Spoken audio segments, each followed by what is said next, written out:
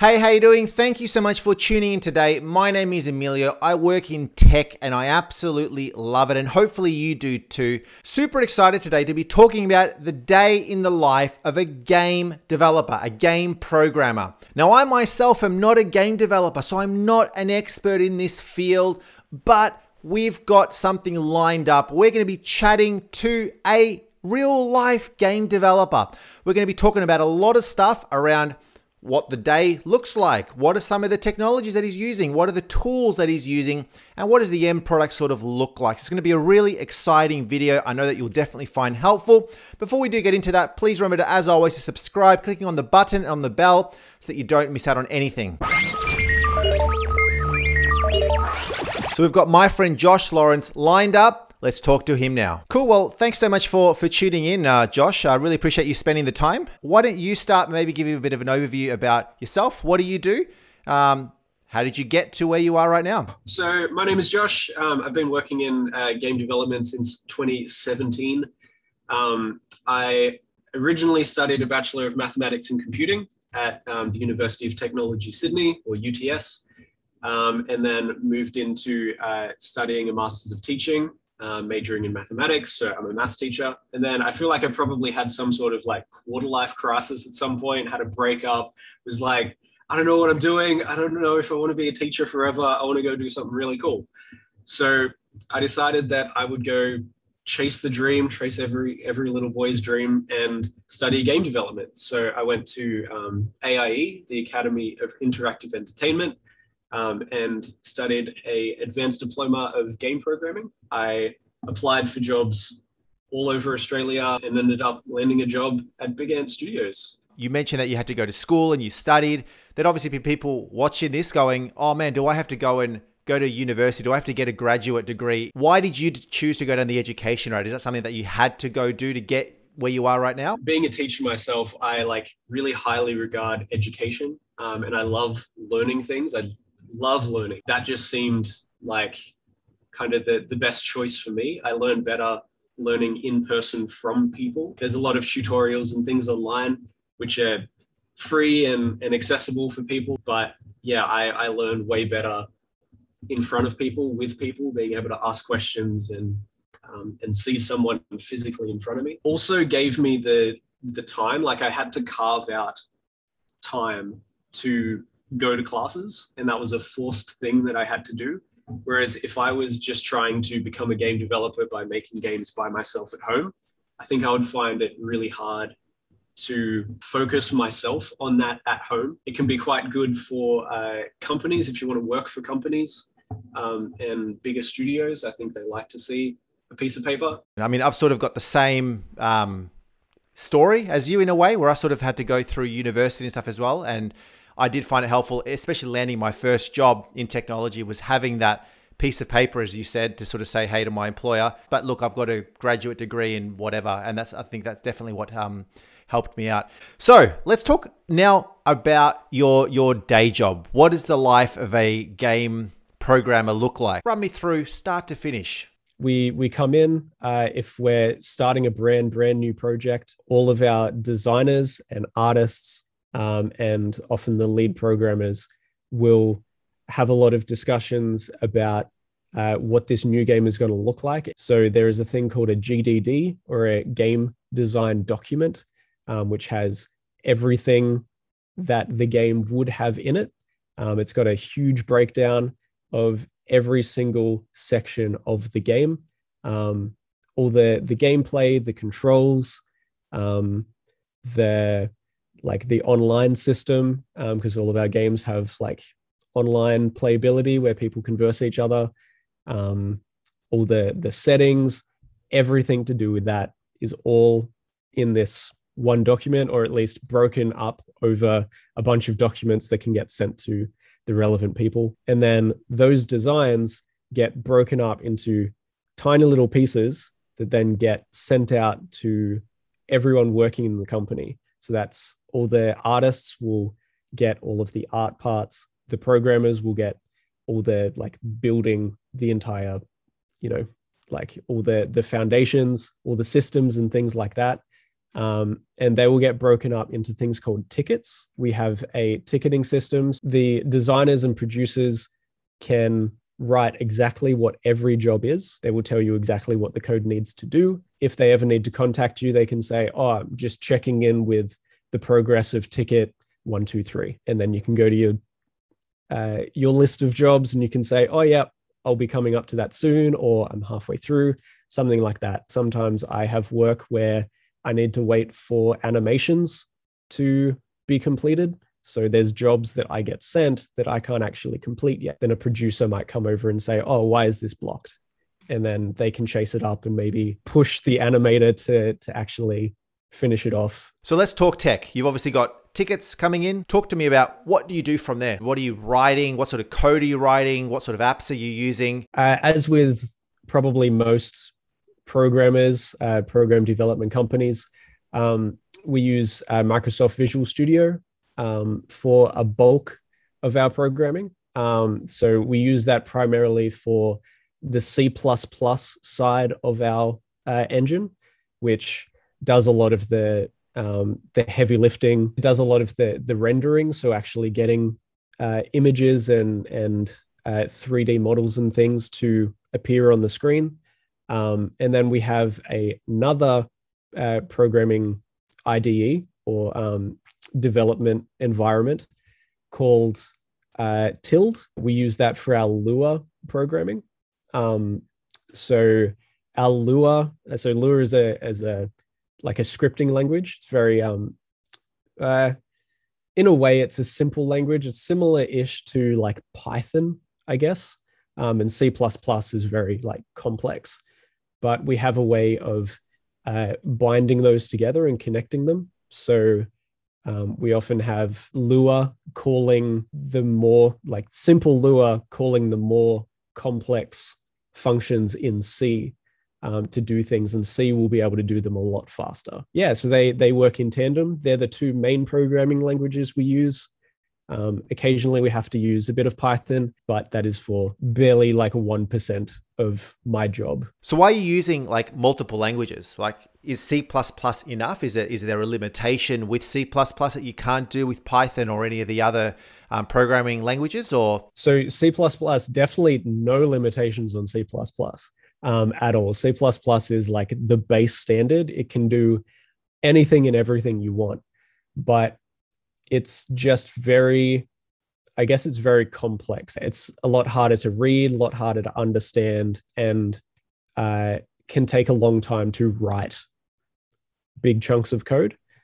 But when we're in Lua, Lua being a scripting language, it's very fast to iterate. Um, it's a lot faster to yeah, be able to write much simpler code that does the same stuff over in C++. Maybe it'll take a bit longer, but the development time is a lot shorter. All right, so you're so you're programming, uh, you're doing all this sort of stuff. So you're obviously working uh, on a specific little piece with other people in the team who are working on other little pieces. What happens from there? You obviously have to bring all of that together. You sort of compile it together. Um, does it go to like through some sort of um, quality testing? Obviously, because there's a lot of pieces, and you know, to make a game, you're writing a a new sporting game. There's a lot of different pieces. So how does how does all of that fit together to give you the end product? All of our uh, code base, um, all of the art assets, everything is on a server in our office um, under source control. So for those who might not know what source control is, um, it's where you can upload little chunks of a project. So um, a piece of art or a piece of code, you can upload it onto, um, it's kind of like the cloud, I guess. And so you can push it up to the cloud. And then once you've pushed it, it's there. And then people can grab that and um, grab your changes and put them on their machine. So then they've got the latest version of the game at all times. So they can grab your code, they can grab your art, all of that, but it lives somewhere else. Um, but then you make a local version of that on your machine where you can code, you can break it, you can do whatever you want to it, and it won't affect anyone else. Um, but you just keep working on that until you push it up. So that's kind of uh, where when we start a new project, they uh, basically it's almost like grabbing a new folder, putting it on the server um, with the previous cricket game, for example. Everyone grabs that that new version of the cricket game, grabs it down, starts working on it. There'd be hundreds of pieces of uh, new work being pushed up mm. to that server every single day. Um, new pieces of art, new pieces of code all the time, new bugs fixed, things like that. So throughout the day, you're constantly grabbing everything that's brand new um, off the server. And yeah, that's it's kind of a very slow iterative process over the six months, eight months of a life cycle of a game. Um, we are just constantly grabbing the new version, changing it, pushing it back up. So then when you make those changes um, and then you push your changes back, it finds it goes through the entire project, which also exists on the server, and it goes, these things are different to what is currently on the master, um, on the master version.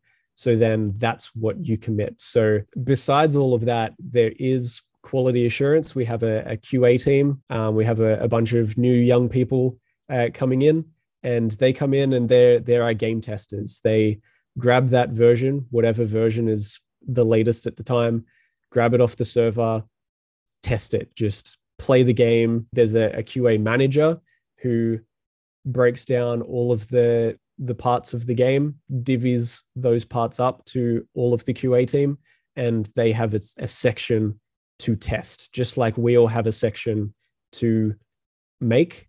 Um, they all have like a specific section that they will just be playing for months and months and months, finding that all sounds, of the. That sounds really cool. By the way, to be a game tester, just somebody who just comes in and just plays games all day. Is that is that sort of what it's like? Sounds great, but I can imagine it would be very very tedious. Um, some of the some of the bugs that I've gotten have been insane. I don't know how they've ever gotten to that point where they're like, oh yeah, I like went in, started a, a cricket match as Australia versus England, went in, um, I was batting, I hit a six, and then I went in, I changed sides to then be playing as England, and then I bowled, and then I went in, I changed an audio setting, and it crashed, and that is the only way that it crashes. It's like I don't know how they did that. I, it's it's weird, and so you get crazy bugs, and the QA guys are just doing the weirdest things. Um, like yeah, it's, sometimes it's probably pretty fun, especially on a fresh project. Um, when it's when it's built out enough and there's a lot of features and stuff, there'd probably be some some pretty cool stuff there. But when you're probably testing the same thing for eight months straight, I would imagine it gets pretty tedious over yeah, time. Sounds like it. And, and, and, for those of you watching who don't know what cricket is, uh, it's a game that we play here in Australia with a bat and a ball. A little bit like baseball for you Americans, but uh, there you go. So you've gone through all of this. You've done the testing. You've done the development. Um, the next step is what? Like, where do you go from there? How do you get it out to the public? We we make games for uh, PC, um, PlayStation, Xbox, and Nintendo. We have to submit those games to Nintendo, Microsoft, um, Sony for their own testing. Um, so they have a whole bunch of testing um, themselves. So it has to meet their standards of game. They will often send back and say, This isn't good enough. You have to fix these things. And then we then spend the next week, two weeks trying to fix those and submit again. Um, and I think that is like our crunch time is getting the submissions accepted that that will then allow us to put our games on their system um, yeah. we also have a, a publisher um, that we work with over in the uk and uh, they do a lot of the the publishing side getting the discs made distribution advertising mm. a lot of that nice that that's a good little snapshot now if there's somebody watching this and hey they they're interested in maybe getting into you know game programming. They want to explore that a little bit more. Should they do it? Should they not do it? Uh, is gaming the best sort of programming? Should they focus on other sorts of apps? What would be best to be learning? Um, i think you learn a lot of uh, basic programming concepts through game development. Um, and game development is probably the most fun way to learn programming because you actually can physically see things happening and you can interact with it and you can get other people to play it which is uh, really exciting to watch other people play your work. Um, whereas if you were doing making an app or just making a a more corporate sort of program, it's a little less exciting, you know. Um, especially if you like want to show your friends, they're like, "It's a banking app." I don't know, like if if you put a game in front of them, they will want to play it, and you can get really good feedback. You can iterate on it. You can you can work on it and get there. Games is super oversaturated, so be very very careful. It's very very hard to break into it um, at first, especially if you want to work for other companies. So be very careful. You have to work really really hard at it. Um, but it is an amazing uh, place to be. The community is awesome. Like the the other game developers, there are so many Facebook pages, YouTube uh, channels. There's just so many ways to learn, so many places to to go um, for information, for learning, for tutorials. Um, so I think game development is a really, really good, fun, exciting way to learn programming from scratch. Nice, nice, dude. That is a great way to end. Uh, I think that is super, super cool, and and I think it's you've given a lot of uh, a, good, a good overview around essentially what you do, and given a lot of people some thinking around maybe where they want to head. You've got a YouTube channel. Um, do you want to talk a little bit about that? What what you guys do? Sure, I've actually got a couple. Um, so my main one uh, is called Eto, which stands for each to their own. Basically, uh, video game, pop culture, comic books, all that sort of stuff. Um, we do like reviews, gameplays. Uh, lately, especially since COVID, we've been doing a lot of Twitch streams. Um, so live streaming on Twitch. My other channel is called the Stream Tapes. Um, I do that with one of the guys from uh, Big Ant Studios uh, from my work. His name is Andrew Chitty. We have that channel where we play games and talk over the top. We kind of look at the games that we're playing with a game developer perspective. Look, if anybody's interested, check out the uh, the show notes in the description below. I've got the links directly to those two channels, so do check those out. But thanks so much, Josh. Uh, we'll chat again soon. Not a problem. Thanks for having me, Emilio. So, what a great interview. I hope that you found this helpful and hopefully you learned something new around the game developer. That's it for this video anyway. Thank you so much for spending the time. Really, really do appreciate it. Do what you need to do across the social medias, as always, by liking, commenting, subscribing. Click on the face right over there and also check out some of my other videos where we talk about all things tech. Thanks again. We'll see you next time.